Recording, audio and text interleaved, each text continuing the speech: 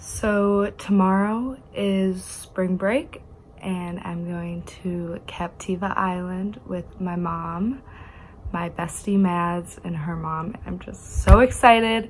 I can't wait to go and you guys are coming along for the journey.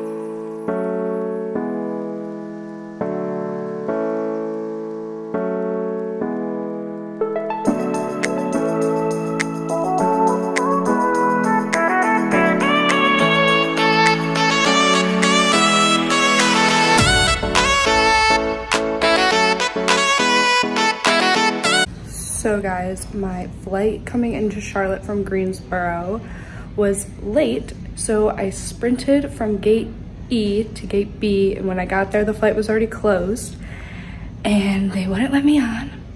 So now I need to go on a later one, and I'll be getting in later, which is really annoying. I'm not too happy about it, but we're gonna get there eventually.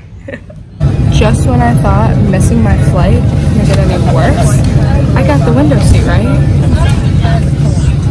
Where is the window? Oh my god.